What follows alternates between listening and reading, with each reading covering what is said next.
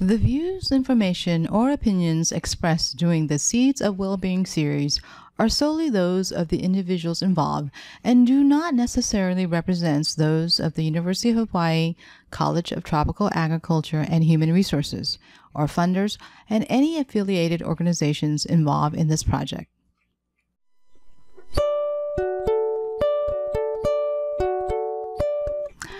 Welcome to a Seeds of Wellbeing Voices from the Field podcast featuring voices of Hawaii agriculture producers for Hawaii agriculture producers.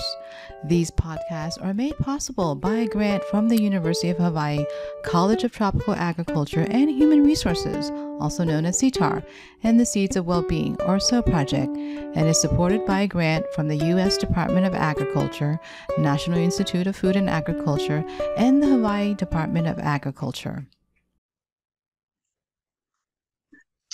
Aloha mai kako. Welcome back to another episode of the Seeds of Wellbeing podcast, Voices from the Field. So I'm here today with Stephanie Easley. She is a legal fellow at the Coordinating Group on Alien Pest Species, and Chuck Chimera, who is the Weed Risk Assessment Specialist at the Hawaii Invasive Species Council on Big Island.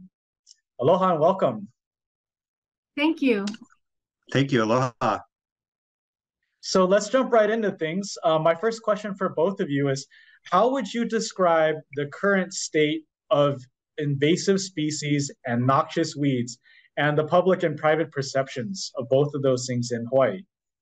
I'll let I'll, Stephanie go first. I'll, I'll, I'll start with kind of the legal side of the noxious weed um, statutes in Hawaii. So there are, when you look at um, what governs noxious weeds, in Hawaii, just like anything else, there's statutes and then there's rules. And the statutes is what is passed by the legislature, and that's the law. And then the agency that's charged with carrying out that law makes administrative rules, and they're supposed to have the technical expertise to write the details of how that's going to be done.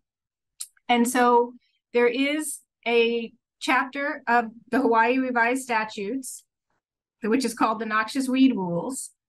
And the and then there are uh, the noxious weed statutes, and then there is a chapter of the administrative rules that HDOA has adopted to carry out the statutes. And both of these are very old and very out of date. Um, the list of noxious weeds is over 30 years old. And the list includes the species that are identified as noxious weeds and the areas where that are relatively free of them. And the kind of what when these rules when the statute was originally adopted in the in the 50s before statehood and the rules the original version was also before statehood these are old old statutes and old old rules that have been um, modified i think the last time the statute was amended was 1987 and the last time the rules was amended was 1992 Wow. So we're not dealing with modern thinking about addressing these issues or a modern list of species. Um, so that like with specifically related to noxious weeds, that is kind of what we're dealing with. And, you know, I don't want to go on too long about the statutes and the rules, but I do have a legal background and that's what, you know, where my interest lies. But these rules the, the statute was set up for a different economy, for an economy in Hawaii where agriculture was the big ticket item and the state was supporting it. And it's intended to permit HDOA, the Hawaii Department of Agriculture, which has, you know, in this world, these this budget to go help agricultural producers get noxious weeds off their land. And so the idea is there's a list of species that have been identified as problems for agriculture or or recreation or you know the environment. And then the Department of Agriculture would go to the landowner and enter into a cooperative agreement with them would, would that would split the cost of controlling or eradicating the identified noxious weed species. So like Department of Ag might bring the technical expertise and the chemicals and the landowner would bring the staff to apply it and they would enter into these cooperative agreements and control their noxious weed species. Um, and they also prohibit, they make it unlawful to move noxious weeds into areas that are free or relatively free of that noxious weed. And that's also designated, like in the list for each species, what areas of the state are free or relatively free of it. Hawaii Department of Ag doesn't have a budget like that anymore. It doesn't have people to go out and assist landowners in controlling and eradicating noxious weeds on their property. They don't have money to buy the chemicals. This program basically really doesn't occur. Um, and, you know, because of that, I think as the, you know, and the legislature is the one who gives Hawaii Department of Agriculture the budget, which, you know, lets them set their priorities. If they don't fund these type of activities, then Hawaii Department of Agriculture can't go and assist landowners in combating noxious weeds. Um, and so it's just kind of become just not used, you know, if, if it's not working. In 2008, the legislature gave the noxious weed list a legislative boost and they they made it illegal to bring any noxious weed into the state or to sell it. And so that at least that old out of date 1992 list, at least you can't bring those in anymore. So that, you know, provides some level of protection. But again, the species on that list is something that needs a whole fresh look. Mm-hmm. And I, um, do you have any thoughts about all that before I talk more generally? Chuck, I think she's talking to you. Oh, okay. I wasn't sure if she was No, that was a really good summary. And um, as a uh, as a botanist, you know, trained to identify plants, um, I always appreciate when somebody with legal expertise can explain something to me that I feel like I should already know about. But um, just working with Stephanie in the last few years has really I've, I've been in this field for over uh, for almost 30 years myself since the last time the noxious weed rules were updated and i never really fully understood the the rules until um, i started working with uh, stephanie recently so she's she's given me like a lot of insight into that but as far as like you know the state of noxious weeds and invasive species in hawaii um, you know the species on the noxious weed list there's about 95 species or um, uh, varieties on there, and that and, and including a few like the entire genus of of plant is listed on there. So it does have value, and it when when they made it illegal to um, bring these plants into Hawaii, it still has positive impacts here. I mean, it actually can prevent the arrival of some things that we don't have, but because it hasn't been updated for so long, it it has become almost um, you know out passe in some cases because new, new invasive species, new, new invasive plants are continually arriving, um, being identified by the different um, organizations, different partner agencies on the different islands. And if they were to wait until something was, you know, re- uh, you know, listed as a noxious weed, nothing would have been done on some of these new invaders. So, um, because of that, so many agencies, organizations, conservation groups, agricultural groups have had to take matters into their own hands. And and as Stephanie was mentioning, you know, this isn't the Hawaii Department of Agriculture's fault. You know, they're limited by their funding with what they can do. Um, a lot of money, as uh, as you probably aware, sometimes comes with like a very short time limit on which it can be spent.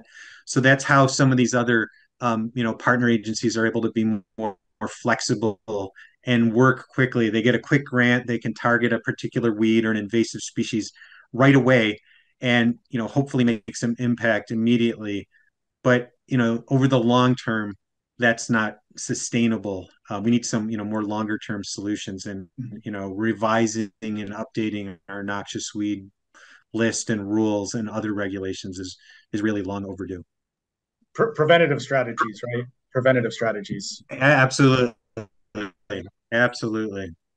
So, in terms of uh, public perception, um, I guess Chuck, you would probably be a little bit more experienced, like interfacing with the public and educating the public. I mean, to be honest, I I had zero clue about plant pono and about what's what's invasive, what's noxious before I, I actually became um, uh, part of the soil water conservation districts uh, as as an employee and got into agriculture that way. But I had no clue what was bad, you know. Uh, and and and when you walk around, you know, the islands and you walk around a pasture or a farm, like I couldn't I couldn't identify what's what's invasive and what's not. And um, I, I I do feel that there has been um, quite a bit of public education that's been going on in the recent years, especially with things like rapid ohia death and um, the the push for planting natives. Right, a lot of people are are are, are understanding the value of planting native spe- plant species, and they're they're understanding that you know it's a better alternative than planting certain landscaping plants, but to be honest, like unless you work in conservation or unless you work in agriculture, most people don't have any idea about any of this. So, in terms of public perception, kind of what's your what's your gauge on that, and are things being done to improve public understanding and education? Yeah, I mean, absolutely. I could, I, I 100% agree. Um, I, I came to Hawaii over 30 years ago as a, you know, as a volunteer at Haleakala National Park. And prior to arriving to Hawaii, I could identify plants based on whether they were a grass, a shrub, or a tree, and that was it. That's that's the extent of my plant knowledge. And over the course of my career, I living in Hawaii is what made me really appreciate, you know, what was so special about this place and how many different, you know, unique plants and animals are found here nowhere else on earth. And so this is what uh, living in Hawaii, working in Hawaii is what um, created the love of plants and botany for me. And since that time, uh, I and many, you know, more more partners and people that I can mention have, you know, they work constantly to try to, um, you know, educate the public about, you know, the importance of, of non-invasive plants or native species or things that are more sustainable versus constantly importing something in here. But you know, it's it's a constant, never-ending, um, you know, struggle to get the message out and so, you know, as far as you know, knowing about an invasive plant, I mean, the the first thing that I think that I, I always remind myself is like if you call something a weed or invasive, that's really a subjective term. Mm-hmm. Like one person's weed or invasive plant could be another person's really important agricultural crop or horti- you know horticultural plant that they use for landscaping so it all depends on the context and if you know somebody has a yard or a garden they'll be able to tell you what weeds they deal with you know if they have a plant that's you know invading their lawn or something that keeps coming up you know in their garden that's competing with their food plant that'll be a weed to that person. Somebody that's growing you know a crop knows what weeds come in after they till the soil or what plants might be harboring like a pest that then feeds on their crop.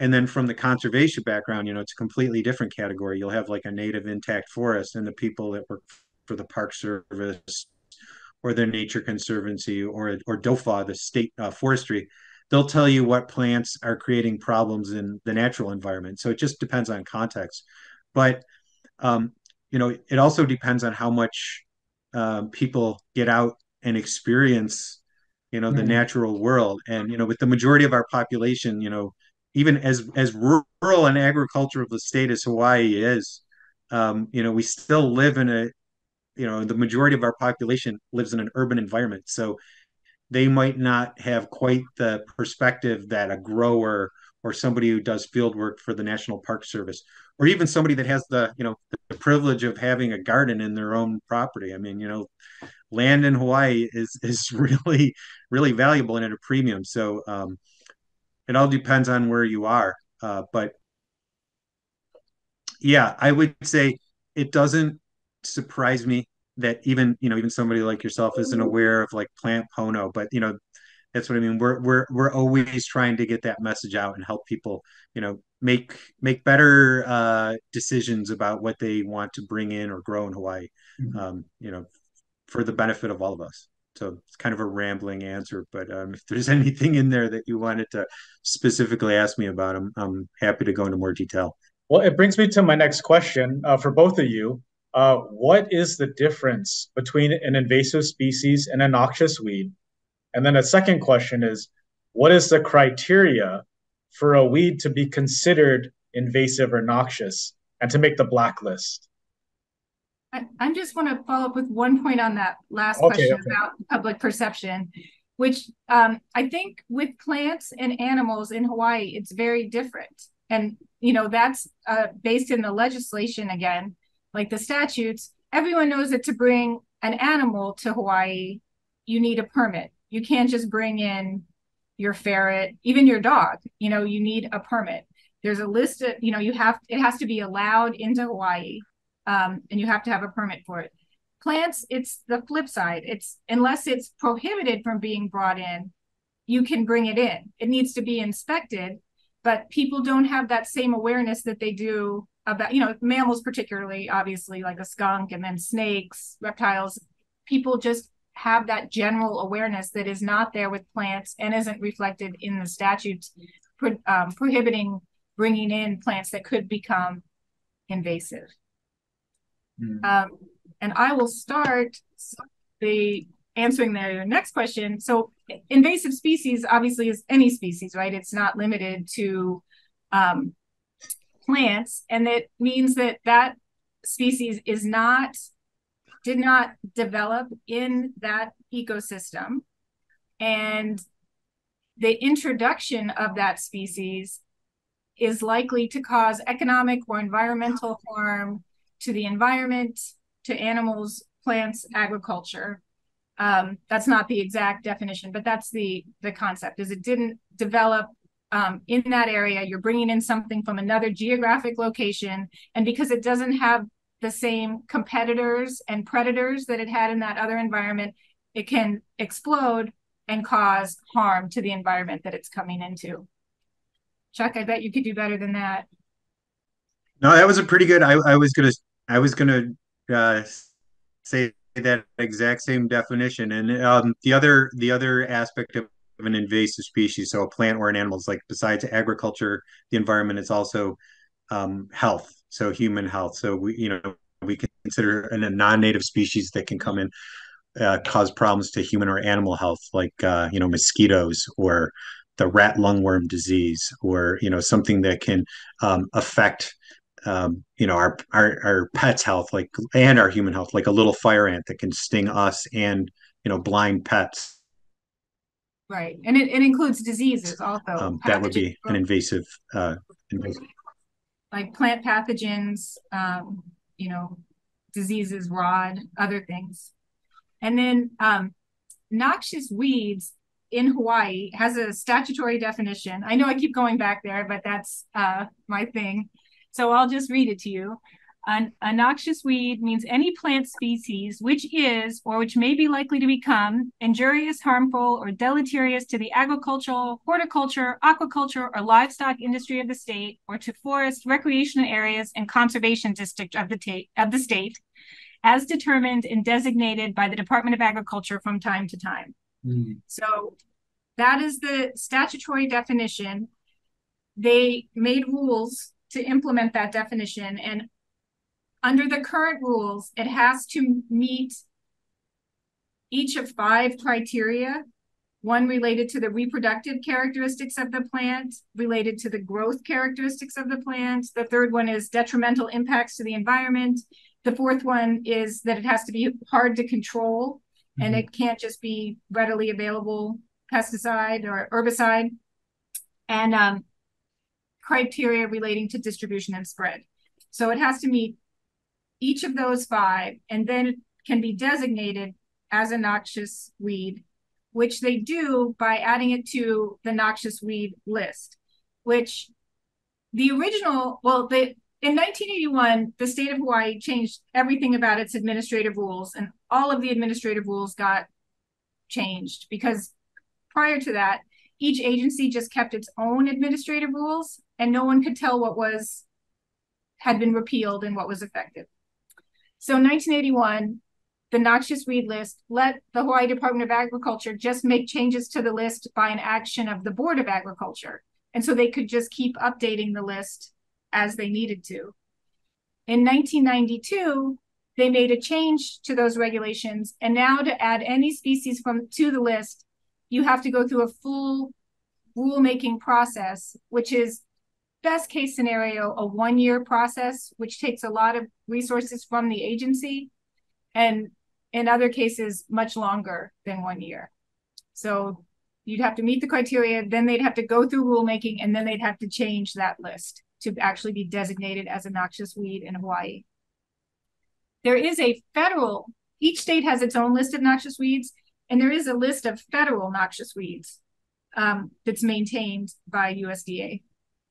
Anything to add to that, Chuck? Yeah, I mean that was again like from the the legal side, I wouldn't have been able to recite any of that. But um, I did want to say that um, to add to Stephanie's definition, so a noxious weed in Hawaii has a legal designation and definition assigned to it. So all noxious weeds in Hawaii are invasive. If they're here, there's definitely a problem with them, or somewhere else, which is why they got on the noxious weed list. But not all not all invasive species are noxious weeds. You know, maybe they all should be, but they're not. So there are many other tools, uh, research, uh, things that can be done to identify plants that are um, invasive and you know if the noxious weed list is updated someday you know we have a huge list of potential candidates to add to that and that's part of the the work i do is i i run uh, plants through this um, screening criteria that uh, answers questions about the plant's biology ecology history of invasiveness elsewhere um, and uh, this questionnaire that I run through uh, assigns a score and a risk rating to plants. Um, so they can be either high risk, low risk, or kind of this gray area. And that helps us to at least predict whether or not a plant is likely to cause some kind of harm in Hawaii. It doesn't have a legal designation. So my job and what I do with these weed risk assessments is not like a legally mandated thing that people need to to follow, but it does help people you know maybe make more informed planting choices about what could cause some kind of trouble one of those criteria environment uh, agriculture or or our health uh, if it could impact one of those things um, you know gives people a little bit of extra information on uh, on a plant before they decide to grow it okay so um just real quick for for some for some fun and and um, giggles um i have three weeds that I have dealt with farming in Lihue on Kauai.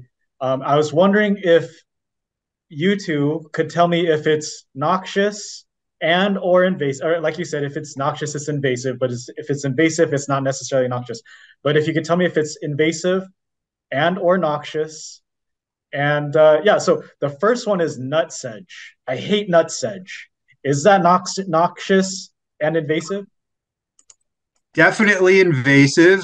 And let me see, it's uh, uh, rotundus. It is, um, I don't see it on our Hawaii state noxious weed list. It is and so hard the only re- Oh, absolutely. I mean, it's such a, a, a competitor with, uh, you know, that, that, um, that underground storage organ, or organ that it uses to, uh, you know, hold on to nutrients is a perfect competitor for for uh, you know lawns, uh, crops, everything. And uh, I don't see it on our noxious weed list. So, but clearly invasive. The only reason why I could think it might not, might not have been included on the noxious weed list. Um, some of these things were so widespread and introduced so early that um, that they wouldn't have been added. But I'm just confirming that I don't see it on our noxious weed list. I, and I it's uh, Cyperus rotundus. okay. Uh, nutsedge. The only nutsedge I see is yellow nutsedge, Cyperus esculentus. And is it is it noxious or is it only invasive? So if it's not on the Hawaii noxious weed list, it's not a designated noxious weed in Hawaii. I don't know this plant. I'm the, the legal background, but from what you and Chuck just described, it sounds definitely like an invasive species. It's really hard to eradicate because even though it's just a small little like blade of grass, underneath the sur- deep underneath the surface, there's a nut and if you if you when you try and weed your your beds, if you pull it out but you don't get that nut, it'll just regrow. And then it spreads. It's a crawl. It's a little bit of a, a lateral crawler too. So it'll put out shoots, and then it'll put out more um, more blades of of grass. Okay, my second one is amaranth, not the edible one, but there's this one amaranth that would pop up, you know, everywhere, and and it would just explode after one rain, and um, it seeds super fast, and then the seeds blow everywhere, and it just it's so hard to eradicate from my field. But an a- amaranth was really it was killing me when I was trying to grow in Lihue at KCC at Kauai Community College. Amaranth. That was that was another one that oh my god, I, I just wanted to give up farming over there. Was it the spiny one or the non-spiny one? Uh, maybe non-spiny. It's green and purple. The leaves are green. Okay. Yeah, there there's a there's a number of different um, amaranth species that are um, naturalized, which is like uh, the, the the fancy five dollar word that's saying that they they have their own self-sustaining populations. They reproduce on their own. They can spread on their own. Um, they're they're not just being cultivated. They're they're um, growing all without any human help. And uh, I again, I don't see any any amaranth species on our Hawaii state noxious weed list. Um, not in the gen- the genus Amaranthus is the is the one um, I think you're referring to. And so I would say absolutely invasive, super um, annoying uh, pest of crops, you know, yards. They, they really like disturbed ground and soil, which is uh, an attribute of a lot of weedy plants. You know, they thrive in those highlight um, environments where the soil has been recently tilled, and then they can just like grow really quickly, compete with other plants really well because they grow fast and so they end up you know hogging up the soil the nutrients the water and just make um you know make, make farming or and agriculture that much more expensive like add to your whole workload so um may, maybe uh stephanie could correct me on that but i don't i don't believe there are any species in the genus amaranthus um that are on the the hawaii noxious weed list Chuck, I can't correct you on um, the species. you know everything, um, but I don't see it listed. Um, so it is not a state listed Hawaii state noxious weed. Okay, well, maybe third time will be a charm. This is my absolute least favorite weed. Um, it's affected not just um, like vegetable and row cropping, but pastures. I've seen pastures um, almost overtaken by this plant. But Wedelia, I hate Wedelia. Is that noxious or is it only invasive? And I know it's brought in as, as a landscaping plant, correct? There's a ground cover for uh, erosion control originally, but it it spreads. Mm-hmm. Nothing can eat it. I, I believe it's toxic to livestock. Um, correct me if I'm wrong, but I've heard stories, anecdotal stories, that it's toxic to livestock. That even when goats try and eat it, causes them health problems. Um, and uh, I, I, think the last time I, I checked, the only the only chemical um, herbicide that can knock it back is 2,4-D, which is super strong chemical pesticide. Um, but yeah, is Wedelia, is that on the noxious weed list? I hate to disappoint you. Uh, third time is is not the charm. Wedelia, which I believe has you know botanically been moved into a different genus, but everybody still you know calls it Wedelia. I have it growing in my yard. It's all over the Big Island. Um, people like it because it's a ground cover, but if you want to keep it out of other things, I mean, every little vegetative fragment and piece that breaks off has the potential to create a new plant. Super smothering and aggressive gets into your valuable plant. I, I we have a pet rabbit in um on my property, and I I've become pretty um eh, my botanical I put my botanical knowledge to use by um you know feeding her different weeds in the yard that I pull up and and you know knowing which ones aren't toxic and uh, that's one that I knew that there were some toxic properties to it, but I still wanted to see if she would um, you know, nibble on just the flowers and you know sticks her nose up to them and, and uh, you know just turns away. So definitely something that's not good for you know for animals. Um, not good for gardens, not good for farming. When I was at Haleakala National Park, it was invading coastal habitat, competing with native plants. But certain landscapers love it because it is super hardy. You can almost like weed whack it back and it'll just come right back really thick. Does keep out other weedy plants, you know, to some degree. So from a maintenance land landscaping perspective, um, you know, it does have its uses, but everywhere else, it is a headache. It is a nightmare. It is something that I wish I didn't have on my property. I'm constantly trying to get rid of it in certain areas. And it's just one of those things now I know I will be living with for as long as, as I, you know, live here. Um, so yeah, sorry, sorry, that one, uh, that one is not on our noxious weed list either as the genus it previously occurred in Wedelia or its new genus uh, Sphagneticola, I believe is the the new the new scientific name for it. So uh, just for our, our listeners, um, any any suggested alternatives to Wedelia as a landscaping ground cover that is also a good weed suppressant? For me, um, I've been trying. I've been experimenting more and more with perennial peanut, but I was wondering if Chuck, you had any suggestions.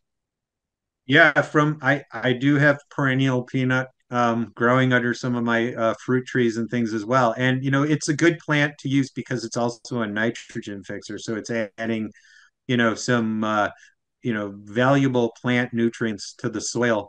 Um, but nothing that I found is as um, effective as a ground cover as Wedelia because oh, it is so aggressive. I mean, what makes it what makes it you know a great um, you know ground cover is also what makes it such a headache when it gets where you don't want it. I mean, there are other ground covers that can kind of uh, you know fill in areas. There's a native fern kupu kupu that grows a really nice dense ground cover, but even this is a native species, it can be a little aggressive too. So if you want to just you know have a nice uh, monoculture of like one type of plant, something like this uh, native sword fern can work in certain situations. Um, but again, it's a rhizomatous; it'll it'll spread vegetatively. So even something, even a native plant, you know, can get a little aggressive in the wrong place. So again, you know, what makes something a really good, effective ground cover can also make it uh, weedy, aggressive, invasive when it gets in the wrong place. And in terms of, I um, wish there was like a perfect solution. Yeah, in, in terms of defining what is a weed, uh, what I've been told in the past is that a weed is a plant that's growing where you don't want it to grow. Is that is that what what, exactly. what it is? Okay, yeah. So weed, weed is a plant is out of place. Very subjective, right? Yeah. So um yeah. That being said, the subjectivity of this this you know defining what's invasive, what's noxious, um, with any law, right? With any law or rule or regulation, it's it's only as effect it's only effective it can if it can be enforced. So um, my question to both of you then is what types of enforcement you know is is backing up these laws that are being put into place about the importation of invasive species and noxious weeds? Is there any sort of regulatory you know threat of force from the government or any specific agency that has authority to find somebody or arrest somebody um, to, to deter the importation of invasive species? The Hawaii Department of Agriculture, when you bring in any um, plant, it is supposed to be declared and then it's supposed to be inspected. Um, if you're bringing it in from the United from within the United States, it's the one of the biggest problems with the outreach to the public and helping people understand how to not bring invasive species is it's an absolutely complex system. Anything coming from a foreign country is regulated by the um, federal agencies, and Customs and Border Protection inspects that. So what I'm talking about now is things coming from within the United States, someone coming to Hawaii from another state. You're supposed to tell Hawaii Department of Agriculture that you're bringing a plant into the state, and they are supposed to inspect it. And if it is a nox if it is one of the noxious weeds, which from your three examples, you see how limited this list is in terms of what's actually detrimental in Hawaii. Um, they can confiscate it from you.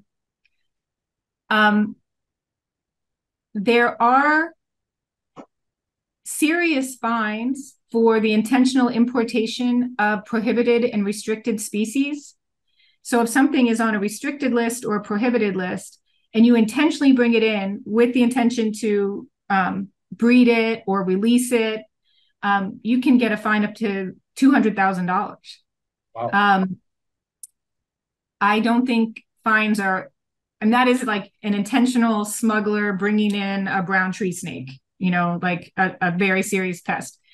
Um, those are on the books. The my understanding, and these are really questions for Hawaii Department of Ag, is these inspectors work really hard. They try to inspect everything that comes in, and they, if it is not permitted, they won't let you bring it in.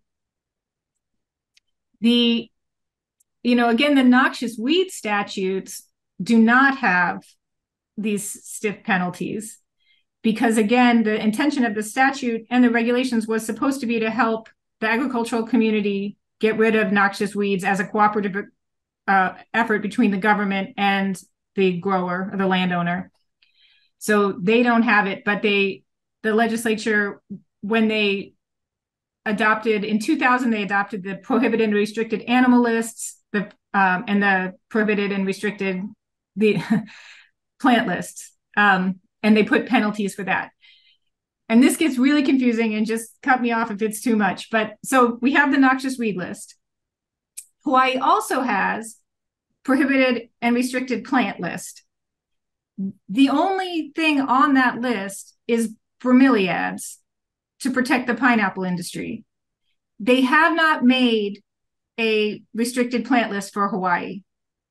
Instead, they're sort of relying on the out of date noxious weed list to do that. So that's another like big hole in the kind of web of protection that's supposed to prevent things from coming in. The legislature did make that give that authority to HDOA, but it has not been carried out at this time because they just don't have the capacity. You know, they don't have people over there who are able to write these rules, go through the year long, you know, full time process of public meetings and all the review boards and things that it has to go before. So you know, that's where that's at. Wow. Okay. So um, that brings me to my next question is how do noxious weeds and invasive species usually end up in Hawaii? Is it through passenger airlines or cargo or are, are there other ways that people smuggle in um, invasive species that shouldn't be here? Petco is Petco responsible? I you know, I don't have like statistics and information on this. I can say anecdotally, you know, one thing that I'm just aware of is you can order anything online. Um, you know, plants and seeds and you know, they can you can order them on Amazon, they can ship them to your house. You wouldn't declare that, you know, you would just get your FedEx package of your plants and then you would have it. Um, historically, you know, things arrived before they started having, um, before the noxious weed list was developed. Um, and so some of those have become established over time, but I really don't have any like sense of how things are coming in. You know, diseases are, you know, almost always accidental you know come in on something as a, a plant disease that might not be something they can catch because maybe they can't see it at the inspection but chuck mm-hmm. do you have any more thoughts yeah no i was going to say um, as far as like how um, invasive plants get into hawaii um, a, a, uh botany professor uh, decades ago did a study of the worst weeds that were invading natural areas in Hawaii. So these were just uh, you know weeds of like forests and conservation lands, but this is probably applicable to other areas as well. And he he he uh, broke down this list of like the hundred worst invaders of these natural areas and um, their method of likely method of arriving in the islands, and about ninety percent of them were um, almost certainly intentional introductions. So there were things that were brought in not because they were invasive, but because they had some value, you know, either as a possibly a food plant, an ornamental plant, some other purpose. And then once they got here, they started to misbehave and really start to spread and cause problems. Um, a, you know, a, a much smaller percentage come in as like a seed contaminant or a hitchhiker on another plant. I would say, like, you know, to your earlier question about people coming in on the planes, I would say that that's probably one of the least likely ways for an invasive plant to arrive in Hawaii. Stephanie mentioned um, online sales. You can bring seeds in. We have a noxious, the same noxious weed list. We have a we have a noxious seed list. So uh, technically, it's now illegal to bring in these seeds of these noxious weeds on the noxious seed list. But there are over 250,000 flowering plant species in the world. So if you want to bring in a plant, there is a gigantic, gigantic, almost endless list of choices of things you can legally buy online you know as long as the seeds are available and somebody's selling them um, it's technically legal to bring them in so most of these things start out as you know a good intention. It's not somebody like willfully saying i'm going to sneak in the wheat, worst wheat in the world and bring down hawaii's economy. You know they want it because it's got a pretty pl- flower or it's got a nice leaf or it's got other uses. And then later sometimes it'll start to create problems already after the fact. And so again that's why you know part of my job is to try to identify some of these traits behaviors history of problems elsewhere before somebody tries to um, bring something in and just give them a little bit of knowledge say hey maybe you want to consider something else. This plant really wouldn't be a good idea if it got brought into hawaii.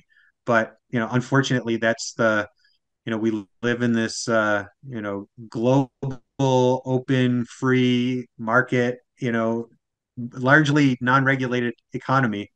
And so if you want to you can bring in something um, the other thing about plants that's hard is the consequences of something becoming invasive from a plant sometimes you don't see right away it might take a year or two years or five years or even decades before the problem is really obvious, and by then it's like almost too late. You know, whereas, whereas like a, a stinging ant, nobody wants another stinging ant in Hawaii. So Hawaii Department of Agriculture, you know, does heroic efforts to prevent the introduction of another stinging ant like this red imported fire ant that spreads through the south you know all across the mainland we do not want that here and so those kinds of things you know nobody will argue about an ant but you know, a plant with a pretty flower, and you say, "Oh, this is really invasive in Australia." You know, that doesn't that doesn't have quite the same uh, resonance as uh, as something that's going to hurt us or mm-hmm. hurt our pets. Mm-hmm. You, you did mention that uh, it's very very unlikely that a passenger on a, a passenger airline would bring anything in. But I was wondering, like, because I've noticed too that there's so much screening by USDA for people leaving the islands flying towards the continental United States. But coming in from the mainland, you, you just got to fill out that piece of paper. Um, well, this is seems a bit of... lopsided to me. Like they would they'll protect the the mainland, but they won't protect us. Is that is that kind of what what's happening here? Well, it's part of like the the complexity of like you know jurisdictions and and who has the authority. So when you screen your baggage at the airport, that's the federal USDA making sure that you are not bringing agricultural products, plants from Hawaii to the mainland to protect the mainland from pests that we have here that they don't have there. That form that you fill out on the plane is the Hawaii Department of Agriculture trying to inform everybody that they need to let them know if they have any of those restricted if they have any plants any live animals any soil anything that could bring an invasive species with them um, Hawaii, USDA does not screen coming into Hawaii, just going out to Hawaii, which is kind of like a little one example of Hawaii's problem with invasive species. Like the continental United States has a well developed list of what is going to become invasive in the continental United States. Hawaii has a much different climate, you know, much different environment. It's geographically far away from the mainland. So anything that's, you know, if it's on the federal prohibited list, it usually looks at what's going to impact the entire mainland, not just one little Hawaii. And it's hard for us to get something that impacts us on that federal list because it might not become invasive at all on the mainland. So, you know, Representative Case from Hawaii, you know, introduces a bill asking USDA to screen on this side and to put resources into that. It never has been passed. Um, that would require federal legislation, and they just don't do it.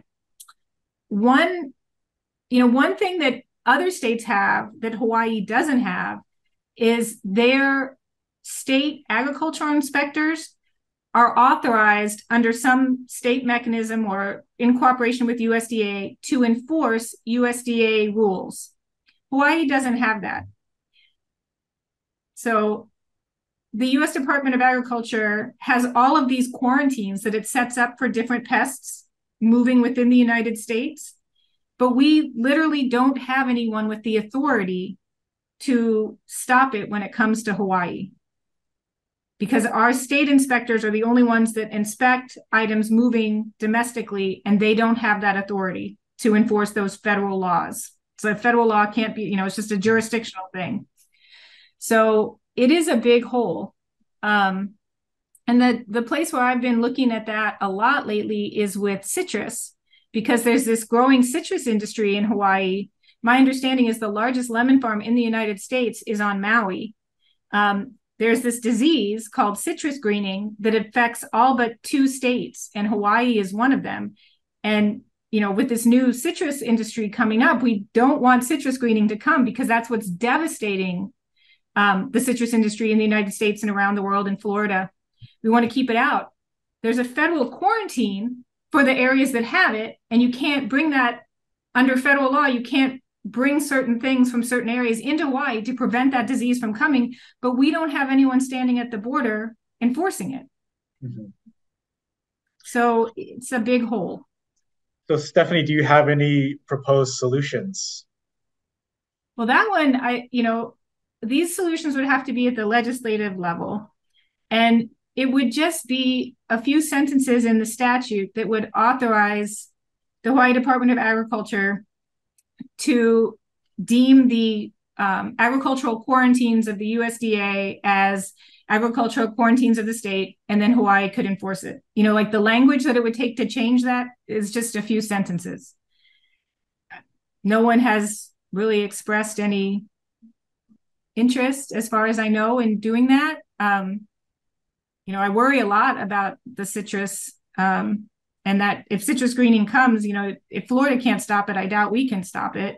Mm-hmm. Um, and I know there's other ways, you know, perhaps we could have um, USDA inspectors deputized, uh, Hawaii Department of Agriculture inspectors deputized by USDA, um, but really just to let Hawaii, which does not have a big budget for its Department of Agriculture, just let them adopt what the federal Department of Agriculture, which has offices full of you know phd agricultural scientists trying to figure out the best way to stop these diseases just say we'll take that research and enforce it at our border. Mm. okay so everybody needs to contact their local representative and tell them to do something about this well i mean that like the the bigger picture it would be marvelous if there was legislative focus on the invasive species issue and the noxious weeds issue. There are a few like just small changes in the rules that could make them a lot more functional.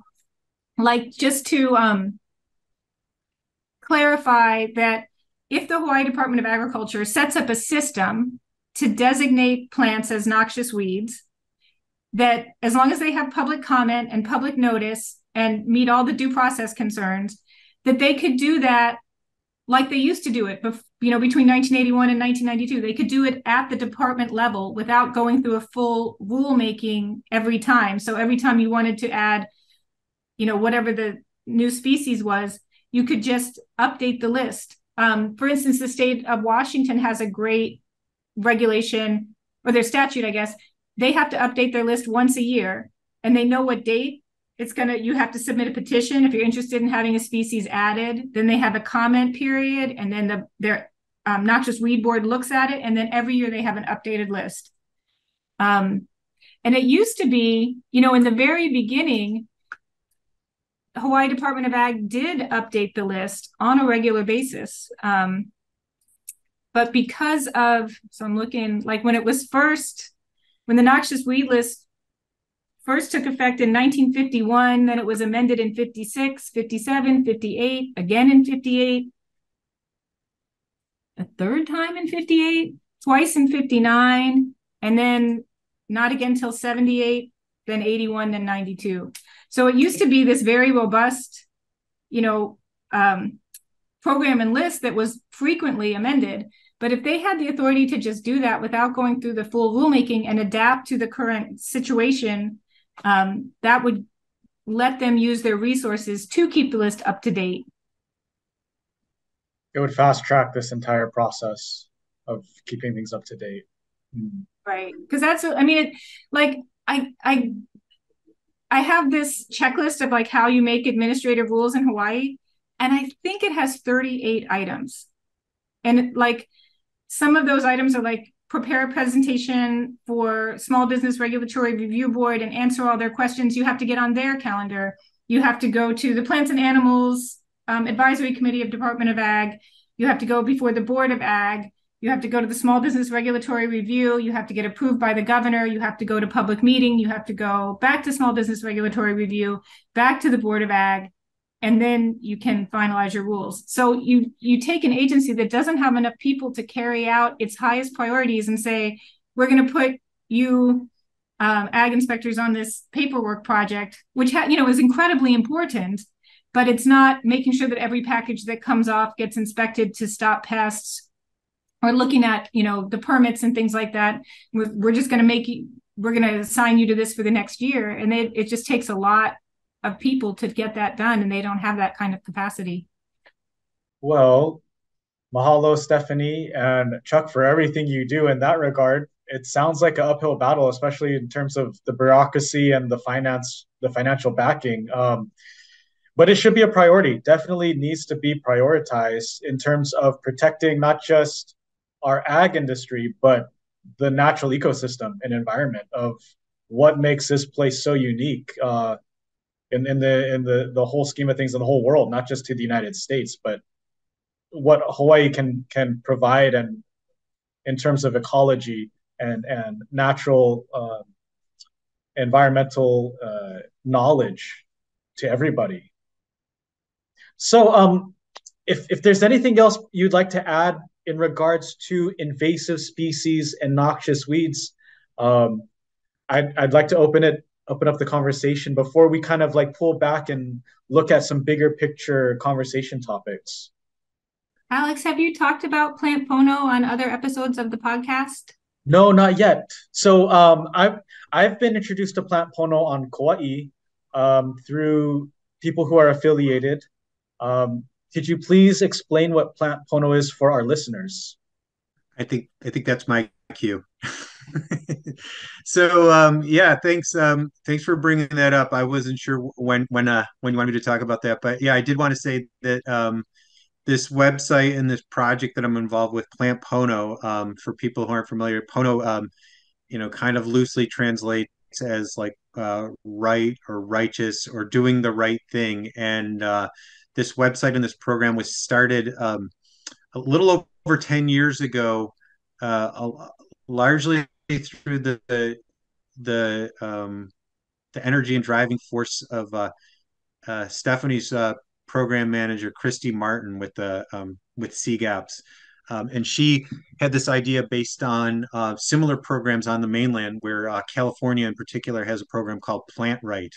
And um, because this, as we've learned, how onerous and uh, difficult it can sometimes be to update rules and legislation, you know, rather than than waiting for that to to take effect, um, projects like Plant Right on the mainland, Plant Pono in Hawaii are uh, trying to you know be take a more proactive approach and help people to um, make more informed planning choices about what they use in their yard or in their landscaping or for their horticulture, uh, things that um, you, you know could be harmful to our uh, environment or agriculture. So this website um, helps people choose plants based on their growing characteristics. And it also incorporates information that I've used through the weed risk assessment to, again, place plants into a risk category, um, how likely they are to become invasive or cause some kind of problem in Hawaii. So I, I think I mentioned earlier, they can, they go through this screening questionnaire that that I that I do, and uh, based on how these questions are answered, um, they're assigned a score and a reading rating of high risk, low risk, or kind of this gray area called evaluate or moderate risk, and um, that just gives people an idea about what types of problems a plant is or is not likely to cause in the islands. And um, I, I think I mentioned earlier, this is a voluntary program. So it's not, you're not required to abide by the results of a weed risk assessment on the Plant Pono site, but it does allow you to, you know, understand a little, bit more about the plants you're choosing. And I kind of compared a little bit to like a food nutrition label where you can like read about what's inside, you know, a product you're buying and say, oh, it's got this much salt or this much fat. Maybe my cholesterol is a little bit high. Maybe I want to avoid that. Same thing about the weed risk assessment. You can look at it and say, oh, this plant is highly flammable, or it can be toxic, or it's invasive in natural areas. And my local invasive species committee is working hard to eradicate this. So part of my tax dollars are going to control this plant, and I'm planting it in my yard. So maybe I should choose something else. So Plant Pono tries to get people to, um, you know, make some you know more informed choices before they choose a plant and, you know it could probably be as so that's the plant side of things there are also um, programs throughout the state especially on kauai and on the big island where there are plant pono endorsed nurseries that have agreed to stop growing certain invasive plants but also have taken biosecurity um, precautions and protocols in place to um, minimize or stop the spread of other invasive species on the island. So, you know, besides plants becoming weeds, plants can also carry pests and pathogens that can harm crops or harm people. So, on the big island, we have a big problem with the little fire ant, and they're very good at catching rides on soil, on plants, on other materials that get moved around the island. So the Plant Pono endorsed nursery has agreed to, you know, treat and inspect their plants to make sure that they're free of a pest like the little fire ant. Or in some islands, like it could be the coqui frog. We don't want to move coqui frogs around the island, or some other pest or pathogen, just to you know prevent the movement or further establishment of a species in a location or even an island where it's not found. So um, I am only one small part of this plant pono program. Every island has an invasive species specialist, outreach people that use the program that go talks about it. That um, on the Big Island we have uh, a great person, Molly Murphy, who goes around and meets with nurseries and gives them the plant pono um, endorsed seal of approval, saying that you know they've taken certain protocols into place to you know to prevent the movement of invasive species around the island. Kauai has a really good program. The Kauai Invasive Species Council, uh, I mean committee, um, has Plant Pono endorsed nurseries over there as well. And then Oahu and Maui, the, the, the ISCs on both those islands are constantly referring people to the Plant Pono site to say, hey, maybe maybe when you're, you're choosing your plants, maybe you should check here to see if this could cause a problem before you um, before you plant it or you buy it.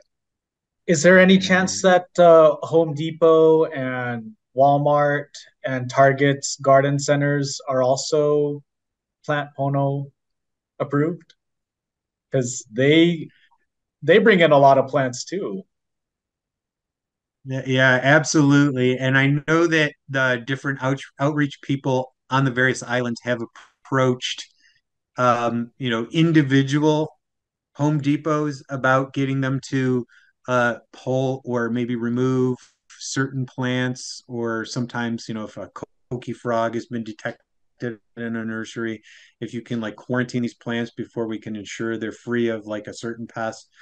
Um, I haven't been directly involved with like that, but one of the obstacles I've heard is because they're such like large corporations and they have like you know national buying and contracts and things that it's really difficult you know a little bit a little bit like the noxious weed rules it's it's it's a little bit challenging to get a national chain to locally enforce some rule in Hawaii because of their you know their their national um, reach.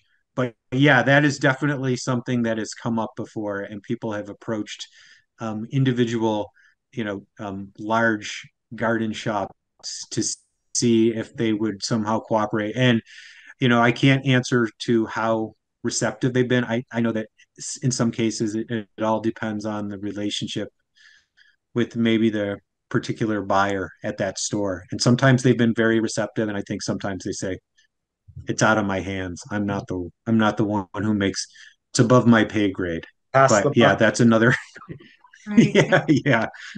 And it's challenging when they do have these national supply chains you know like maybe all the nursery stock is coming from dallas or you know florida california to hawaii and there's nothing in the regulations that say you can't bring it you know mm-hmm. we're just asking and you know again it goes back to that subjective thing you know like um one group might feel that it's invasive someone else might feel that it's a beautiful landscape plant and that's why you know updating these lists for the species that are going to become very invasive in hawaii is critical because then you have a tool that they have to abide by or you can you know take their merchandise um, and not not allow them to import it. Any any last uh, thoughts on invasive species or noxious weeds and the state of hawaii? Well, what one one thing um, I'll just jump in and say, like one thing that um, I think would really help is, um, you know, I know that it's a little bit of a buzzword, but sustainability, like locally grown, locally sourced, locally produced products.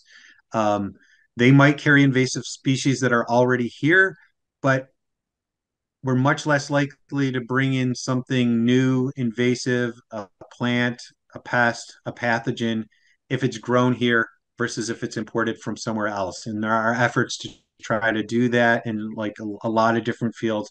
I know there's been experiments and trials on the Big Island with Christmas tree growing to try to get a locally, you know, produced Christmas tree industry here because that's another pathway for an invasive uh, uh, pest to arrive in Hawaii. You know, we have a pretty good relationship, I think, with the Oregon Department of Agriculture, where a lot of our imported Christmas trees come from. But I mean, you know, there's still a chance that there could be a hitchhiker coming in on one of those plants that could establish in Hawaii.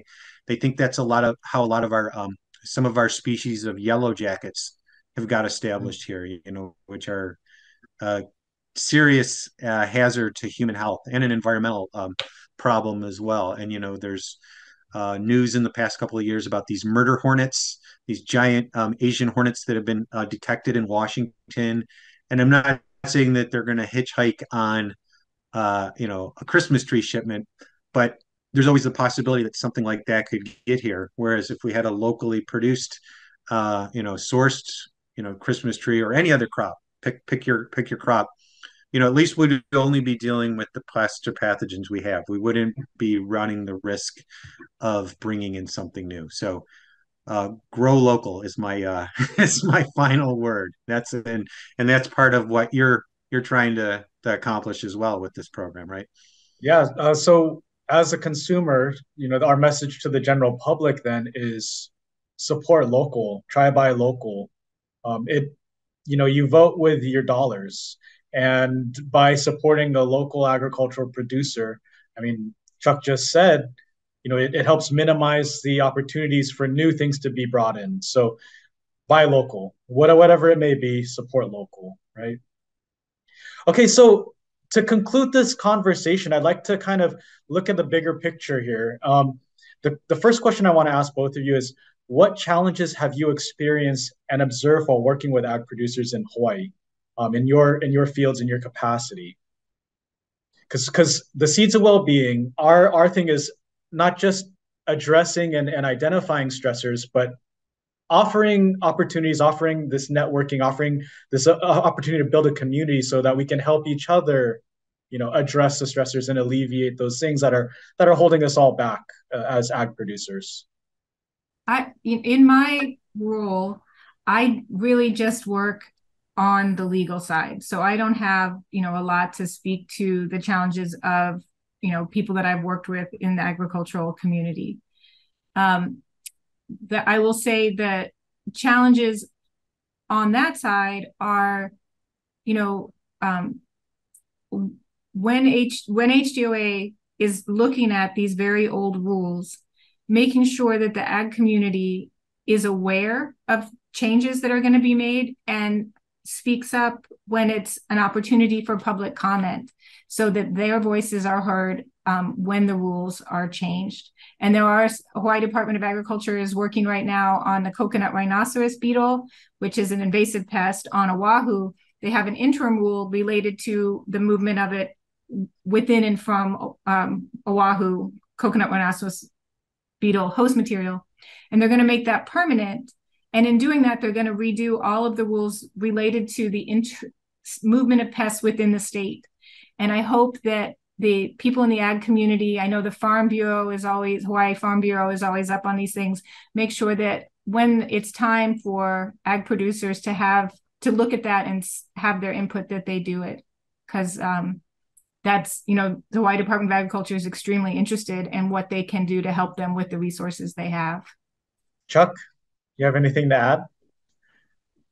Oh, I was you were you were asking about like challenges for uh, uh, local ag producers and my my interaction with them because I I work with the Hawaii Invasive Species Council. I'm constantly like um, reminded of like a new problem, a new emerging problem almost every I don't want to say every day, but like regularly there's something new on the radar. Just when you think you've had like every problem you can deal with, something new shows up. And it's heartbreaking um, to hear about a new pest that is, you know, now adding cost to somebody's like livelihood. You know, I mean, on on the Big Island, there's a lot of like small small like farmers small agricultural producers and you know they have a hard enough time it is as it is with all the pests that are here already with the cost of doing th- everything is more expensive here like you know fertilizer products that you bring in everything is more expensive and then you add on the cost of having to deal with a new invasive species and it's just like it's heartbreaking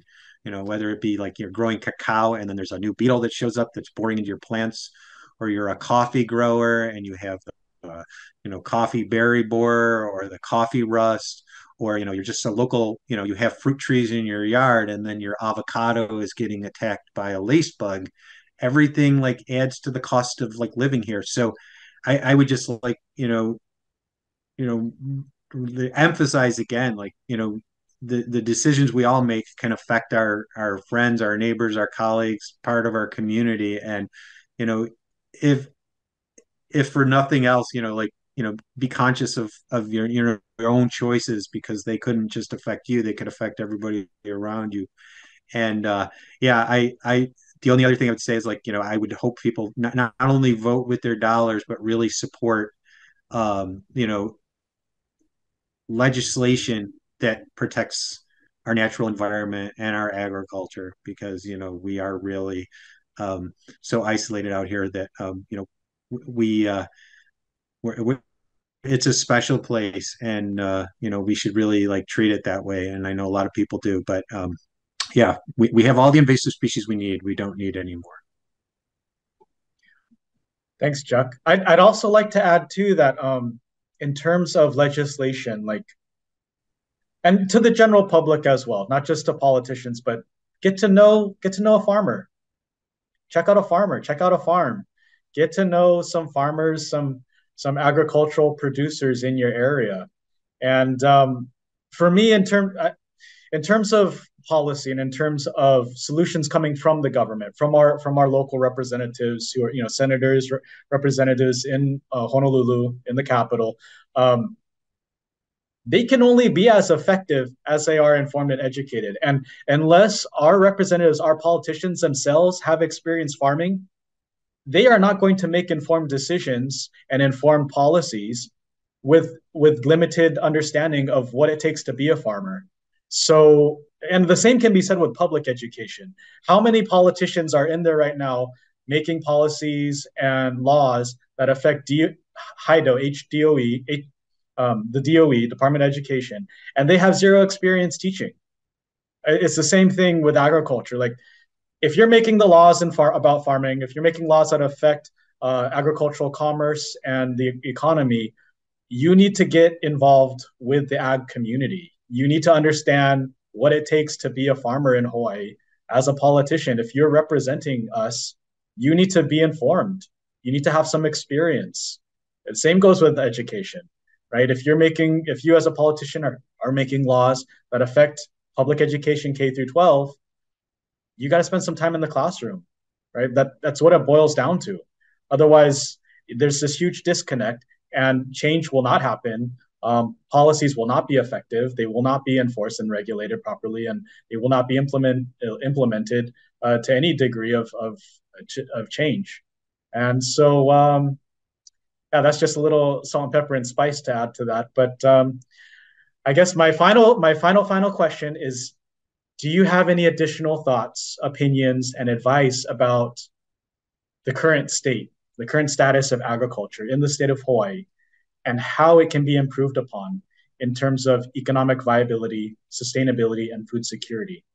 And it doesn't have to be necessarily in your your area of expertise, but just you know, as as a resident living here, like how how do you see agriculture improving and growing um, with with sustained growth, right? Permanent growth, and not just this constant status quo um, ebb and flow of, of what we're seeing. Uh, low prioritization of farming, low prioritization of uh, food security, low prioritization of preserving agriculture zone land in the state of Hawaii. I was just going to reiterate, like, kind of what I said earlier. I mean, it, it, you said it really well too. You you you vote with your dollars, and um, you know, sometimes local products, you know, or oftentimes they can be, you know, more expensive, but that's because like everything in Hawaii is more expensive. You know, the the cost of land, the cost of like fertilizer, uh, everything, you know, but if you can afford to support local agriculture, if you can visit your local farmers market, if you can buy local produce, if you can just like, you know, if you can do that, if you can vote with your dollars, I think that that would really make a big difference, not only with like as I mentioned, the invasive species issue, like we're going to, re- you know, reduce the risk of bringing something in from the outside, but you know, we're going to keep uh, money within the state going back into our local economy, and then just um, when you see agricultural initiatives coming up, you know, at your county or at your state legislature to support agriculture, to protect local agriculture, um, you know, to attend those meetings, to submit testimony, to vote for politicians that support those kinds of things. Because, I mean, you know, being a being a farmer or being you know a nursery grower, it's a labor of love. You know, people I don't I don't think get into that because they think they're going to make it rich. They do it because they love plants or they love growing or producing, and it's hard enough as it is. So anything we can do to support that, either you know through our own like purchasing or through some kind of like legislation to help help people out, that would be you know my my constant you know my constant plug, and uh, and yeah, Stephanie has anything to add. I'll echo what Chuck said. I think that's the answer and vote with your dollars, but also vote with your vote. You know, make sure that you vote on the local and state and then the national elections, but you know, your um, county officials can have a big impact on agriculture. Your um, representatives and senators in the state legislature, you know, make sure that you vote for the ones who are supporting local ag, who are making it a priority, who are interested in working on legislation to um, modernize the ag statutes and and to provide support. Well, mahalo nui loa, both of you, for your time and and your experience and the knowledge that you shared today. Uh, my big takeaway, number one, try buy local, right? Support local ag. And number two, plant pono, right? If you're going to buy something at the store to plant on your property, check out the list first the noxious weed list, the invasive species list, and the plant pono list. Right. And it's a website, right? So you can have it on your phone when you're at the store looking at what's in the nursery and what you're interested in taking home. You know, you can use it right there while you're there. It's that easy. It's that easy. So mahalo, That everybody. easy. Aloha. A hui hou. So it's really fun, Alex. Thanks very much. Mahalo. Yeah, thanks. Mahalo.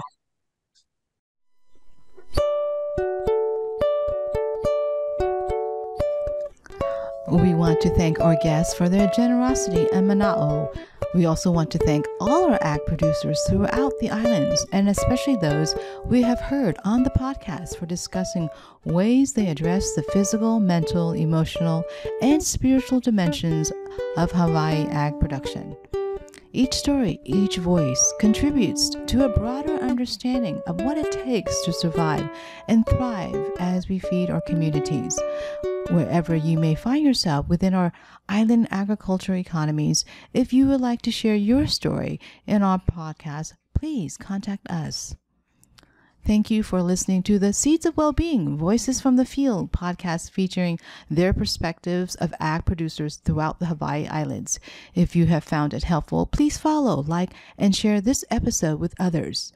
And if you have any ideas about how we can make it better, please let us know in the comments or use the link on our website. Mahalo for tuning in.